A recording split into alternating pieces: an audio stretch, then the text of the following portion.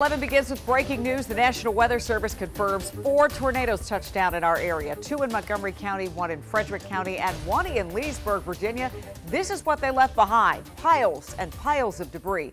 Good evening, I'm Lesli Foster. This storm came in quickly right around the time your kids were getting on the bus, and it was pretty scary. Tonight, the trees and the branches are still scattered across yards and roads in Maryland and Virginia. A lot of us woke up to debris slamming the windows. In some areas, the damage was much worse. Now, this is where that Frederick County tornado touchdown, the Warrior Canine Connect facility in Boyds, Maryland. And scenes like this make you want to hold your loved ones a little closer. The people who own Burl Farms in Frederick County are dealing with extensive damage from a tornado. You're going to hear their story in a few minutes. But first, let's talk about those tornadoes. Adam Longo has been in Leesburg all day getting an up close look at the damage. We're going to go there in just a moment. But first, the chief, you've got that brand new information about those four tornadoes, Tom. Yeah, we sure do. We're going to take you back in time with the radar and kind of set this up. So here's the deal. This is the radar between about 7 o'clock and 9 o'clock. That's when all the tornadoes occurred. And you look at a couple of things. You want to look at this area in particular. That's the area that produced a tornado in Leesburg and also in Montgomery County and also up near Monrovia and Frederick County. So we'll zoom in. This is now 7, 7 to 8 o'clock. And once you look right in this area. This is the storm that pushes through and does the damage in Leesburg. And in fact, if you look carefully, that's pretty much a hook echo. You don't see that too often in summer, uh, let alone in February. Look at the deep reds. You don't see that too often. This reminds me of the radars we saw every Friday in July. All right, we'll move up now. Look at this. This is just before it moves into uh, Bucky's, uh, around Buckeystown and also near Germantown, about 740. That's what the radar looked like. And these are all damage. This is all reports of damage last 12 hours. Those are all the trees that are down. Now, when the investigators go out to look, if it was were in fact a tornado, they look for pattern damage.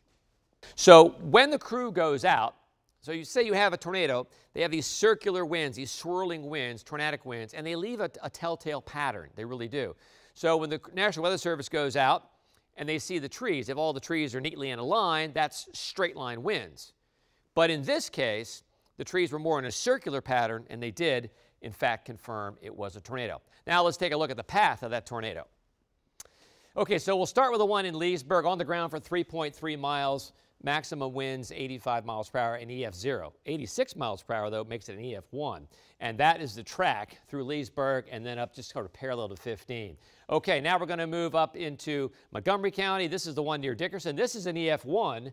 So winds were 95 miles per hour. This is only on the ground for about a mile and also will slide back down a little bit. And this is near Boyd's, not far from the SoccerPlex. That was on the ground for about 2.3 miles. Winds were 80 miles an hour, still an EF0. And finally, the last one in Frederick County near Monrovia, uh, on the ground for six miles, winds 105 miles per hour. That is a high EF1. We're going to send it back to Adam, been in Leesburg, Virginia all day.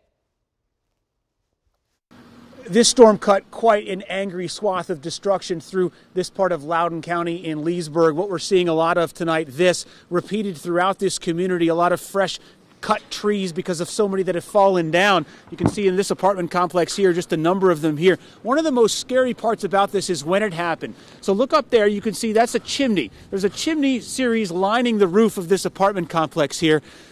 Well, this is what happened when the storm came through about 7:45 this morning. Several of those chimneys just plummeted to the ground, and this is right as kids were about to head out and get on the bus stop to go to school. You can see another one here just 15 feet away. About a quarter mile away now off of Battlefield Parkway and Route 15, this is the area of Leesburg that took the brunt of the storm.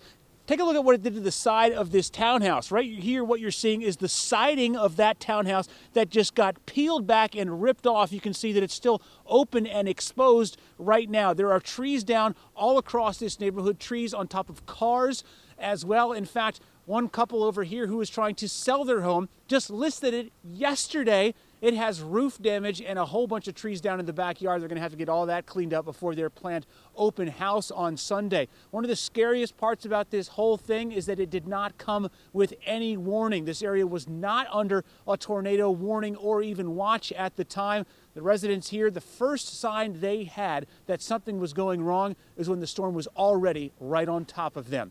In Leesburg tonight. I'm Adam Longo, WUSA 9 News. All right, ads, thanks. Now let me put a face on this. Actually, three.